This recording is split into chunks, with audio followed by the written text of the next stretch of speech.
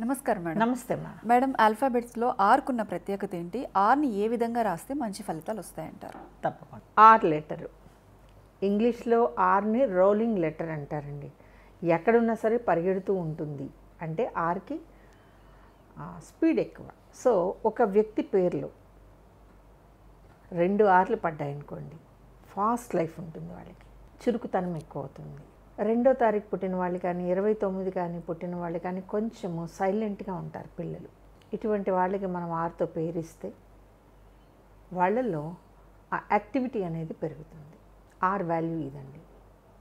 మామూలుగా ఆర్కి లెక్కల్లో వేసేటప్పుడు ఆర్కి రెండు వేసేవాళ్ళు ఉన్నారు ఆర్కి తొమ్మిది వేసేవాళ్ళు ఉన్నారు. ఆర్కి దాని లెక్కల ప్రకారం మూడు వేసేవాళ్ళు ఉన్నారు. ఇంకా కొంచెం ఆస్ట్రాలజీలోకి వెళ్ళిపోతే లగ్నము నక్షత్రం రాశిని చూసేసుకునే ఆర్కి ఐదు ఇచ్చేవాళ్ళు కూడా ఉన్నారు. మీ ఇష్టం మీరే కదండి ఇచ్చేది.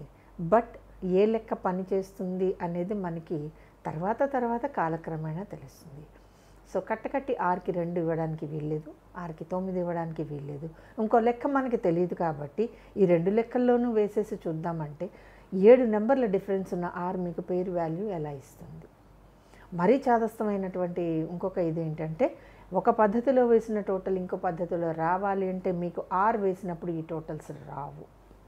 బికాజ్ ఆర్ స్కోప్ ఎక్కువ అండి ఒక మనిషికి ఇంటర్నల్గా ఎనర్జీ లెవెల్స్ని పెంచే అక్షరం ఆర్ కాబట్టి పక్కనే ఒకసారి మూడు ఆర్లు వేయకూడదండి. ఎట్టి పరిస్థితుల్లో మూడు ఆర్లు వేయకండి. మఫ్లాగా తయారవుతారు. ఏం చెప్పినా సరే వాళ్ళు ఇంకా వినరు. మూడు ఆర్లు ఒక చోట మాత్రం వద్దు. అలాగే ఇనిషియల్లో ఒక ఆరు ఉంది. డాట్ పెట్టి ఆర్ తోటి పేరుంది. రిష్విక్ అనుకోండి బాగుంది. తర్వాత రెడ్డి అని వస్తుంది. అంటే ఇక్కడ షార్ట్ ఫామ్ ఏమొస్తుంది మీకు? R dot R dot R. మీ డౌట్ నాకు అర్థమైందండి. ట్రిపుల్ ఆర్ హిట్ కదండి అన్నారు. Triple R హిట్టేనండి. That is a movie. Entertainment field. But ఇక్కడ triple R this is not movie. This is life. Difference లేదా అండి? మీరే చెప్పాలి. డిఫరెన్స్ లేదా? ఆ ట్రిపుల్ ఆర్ కూడా ఎలా పెట్టుకున్నాం? క్యాపిటల్స్లో పెట్టాము. మనం రాసేటప్పుడు ఎలా రాస్తాం?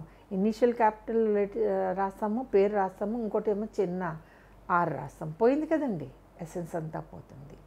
కాంబినేషన్లో ట్రిపుల్ ఆర్ అనేది డిఫరెంట్గా ఉన్నప్పుడు ఓకే అండి. కానీ ఇక్కడ ఇంటి పేరు ఆర్ ఉండి రిష్విక్ రెడ్డి అని ఉందనుకోండి ఇక్కడ మూడు ఆర్లు వచ్చినప్పుడు ఎప్పుడు కూడా షార్ట్ ఫామ్లో మూడు ఆర్లు రాయొద్దు. అలా పొరపాటున రాసిన చివర ఆరు స్మాల్ లెటర్లో అయితే రాయకండి. ఆర్ లక్షణమే మీకు ఎనర్జీ ఇవ్వటం ఉత్తేజాన్ని ఇవ్వటం. పేర్లో ఎక్కడ ఆర్ ఉంటే లైఫ్ కలర్ఫుల్గా ఉంటుందో అక్కడ ఆర్ వేయాలి. కలర్ అనే దాంట్లో మీకు ఆర్ చివరి వస్తుంది. రోల్ అవుతూ ఉంటుంది. అంటే ఏంటి? నెక్స్ట్ మూమెంట్ ఏంటి? నెక్స్ట్ మూమెంట్ ఏంటి?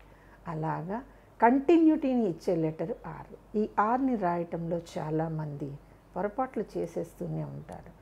బట్ ఒక లైన్ని సగానికి పీలా రాసి పర్ఫెక్ట్ కట్ కనుక మీరు ఇస్తే ఆ ఆర్ బ్రహ్మాండం.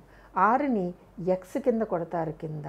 ఆ వెరీ డేంజరస్ ఫినాన్షియల్ క్రంచ్లో పడేసే అక్షరం కూడా ఆరే. మీ పేరులో ఉండాల్సిన స్థలంలో చోట్లో ఆరు లేకపోతే ఫినాన్షియల్ క్రంచ్ సాధ్యం. మీ పేరులో ఆరు ఉండాల్సిన చోట లేకపోతే మ్యారిటల్ లైఫ్ డివోర్స్ దాకా వెళ్తుంది. మీ పేరులో ఆరు ఉండాల్సిన చోట లేకపోతే సంతానం కలగదు.